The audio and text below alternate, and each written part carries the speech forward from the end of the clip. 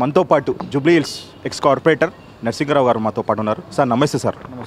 Sir ఏం లేదు sir ఇక్కడ ఫిలిం నగర్లో మేము పర్యటించినప్పుడు చాలా వార్ వన్ సైడ్ అనుకోవచ్చు సార్.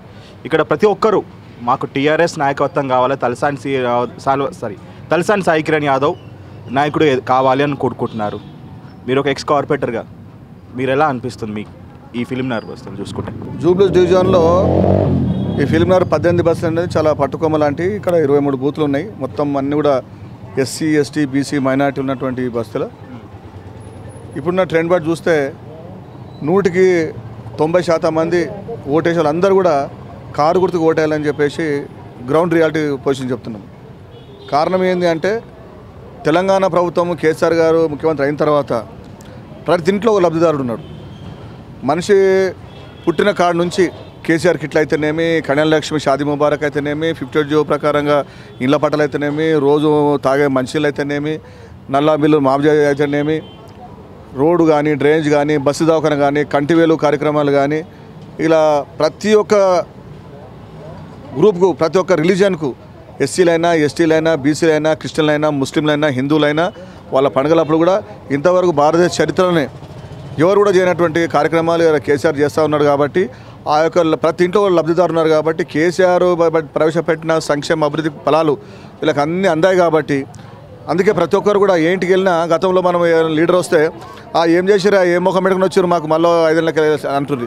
కానీ ఈరోజు టీఆర్ఎస్ కార్యకర్త ఇంటికి వెళ్తే తప్పకుండా మీరు చెప్పినా చెప్పకపోయినా మేము వేసేది కారు గుర్తుకే. మళ్ళీసారి కేసీఆర్ గారికి మేము ఓటేస్తామని చెప్పేసి అంటూ ఉన్నారు. గతంలో దానం నాగేందర్ ఎమ్మెల్యే గారికి ముప్పై వేల మెజార్టీ వచ్చింది. ఖైరతాబాద్ చరిత్రలోనే పెద్ద మెజార్టీ అది. ఈసారి అంతకంటే ఎక్కువ మెజార్టీ సాయి కిరణ్ యాదవ్ గారికి ఇక్కడ నుంచి రాబోతున్నది. మీరు జూబ్లీ హిల్స్కి ఎక్స్ కార్పొరేటర్ కాబట్టి మీ కింద చాలా మంది వార్డ్స్ ఉంటాయి. సి ఈ వార్డ్స్లో మీకు చూస్తున్నారు ప్రజెంట్. ఎలా అనిపిస్తుంది సార్ ఇక్కడ ఉన్న ప్రజెంట్ సిచ్యువేషన్ మీరు చూస్తుంటే? ఎలక్షన్లో మా మామూలుగా మనం పాదయాత్ర పాదయాత్ర చేస్తే పదిహేను మంది ఇరవై మంది తిరిగి ఇల్లు తిరిగితే వాళ్ళు మన సాయి కిరణ్ యాదవ్ వచ్చినప్పుడు అది పాదయాత్ర లాగా లేదు. అప్పుడే గెలిచిపోయి విజయోత్సవ యాత్ర విజయోత్సవ ర్యాలీ లాగా అనిపించింది. వేలాది మంది స్వచ్ఛందంగా మామూలుగా మధ్యాహ్నం చెప్పారు మాకు దానం నాగేంద్ర గారు ఇట్లా సాయంత్రం క్యాండిడేట్ వస్తున్నారని చెప్తే సాయంత్రం వరకల్లా వందలాది వేలాది మంది కూడా మేము ఎవరు మోటివేట్ చేయకముందే వచ్చి వాళ్ళ వాళ్ళు చూసారు. ఇది పాదయాత్ర కాదు విజయోత్సవ ర్యాలీ అని చెప్పేసి తలసాని శ్రీనివాస్ యాదవ్ గారు దానం నాగేంద్ర నాయకత్వంలో మా ఖైరతాబాద్ నియోజకవర్గంలో జూబ్లీ డివిజన్లో అనేక అభివృద్ధి సంక్షేమ పథకాలు చేసి కూడా పెద్ద పెద్ద పనులేం లేవు. ఓన్లీ చిన్న చిన్న మెయింటెనెన్స్ పనులు తప్ప. కాబట్టి టీఆర్ఎస్ ప్రభుత్వం నాలుగు సంవత్సరాలలో ఎన్నైతే మనకి సమస్యలు అయితే ఉండనో గతంలో మంచినీళ్ళ సమస్య డ్రైనేజ్ సమస్య ఇళ్ళ పట్టాల సమస్య కమిటీల సమస్య మహిళా భవన్ యొక్క అనేక రకాల సమస్యలు ఉండే. దానం నాగేందర్ గారి నాయకత్వంలో అన్ని అభివృద్ధి కార్యక్రమాలు జరిగినాయి కాబట్టి ఈరోజు వేరే పార్టీ చెప్పుకోవడానికి ఏమీ లేదు. గతంలో మరి బీజేపీ ప్రభుత్వం ఉన్నా లేదా పేద ప్రజలకు ప్రతి అకౌంట్లో పది లక్షలు వేస్తామని చెప్పారు.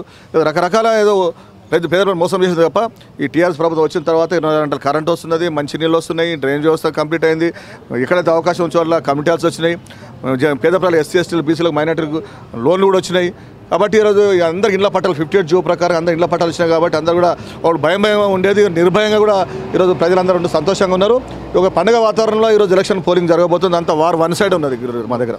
చివరిగా సాయి కిరణ్ యాదవ్కి ఎందుకు మీ ఫిలిం నగర్ బస్తీలు వన్ సైడ్గా ఓట్లేస్తారు అనుకుంటున్నారు సార్ ఒకటి తెలంగాణ ప్రభుత్వం వచ్చిన తర్వాత అభివృద్ధి సంక్షేమ పథకాలు కేసీఆర్ నాయకత్వం.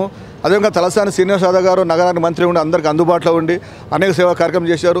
ఇంకోటి మా నాయకుడు అయితే దానం నాగేంద్ర గారు ఉన్నారో ఈరోజు ప్రభుత్వ పరం కాకుండా ఆయన వ్యక్తిగతంగా కూడా కొన్ని వందలాది మందికి ఏ మంచి ఉన్నా పెళ్ళి ఉన్నా పేరెంటం ఉన్నా ఎవరైనా హాస్పిటల్ ఉన్నా అందరికీ అందుబాటులో ఉండి అనేక రకాలుగా ఆయన సొంతంగా కూడా ఆయన దానక దానకర్ణుడు అపరా దానకుడు మా దాన నాగేంద్ర గారు కాబట్టి ప్రజలకు అన్నింటి అందుబాటులో ఉన్నారు కాబట్టి అందరూ సంతోషం కాబట్టి ఈ ఎన్నికలలో అంతకంటే రెట్టింపు ఉత్సాహంతో ఎందుకంటే గతంలో మనకు ప్రత్యర్థి ఉండేది. బీజేపీ నుంచి ఒక క్యాండిడేట్ లేకపోతే రకరకాలుగా ఉండేది. ఈరోజు మాకైతే ఇక్కడ వేరే వేరే క్యాండిడేట్ వేరే పార్టీ మాకు అవపడతలేదు కాబట్టి వారంతా వన్ సైడే ఉన్నది ఇక్కడ మా దగ్గర. Thank you thank you so much sir hello మిమ్మల్నే ఫిలిం సెలబ్రిటీస్ రియల్ స్టోరీస్ ఏంటో తెలుసుకోవాలనుందా? లేటెస్ట్గా రిలీజ్ అయ్యే మూవీ రివ్యూస్ నేను చెప్తే వినాలనుందా?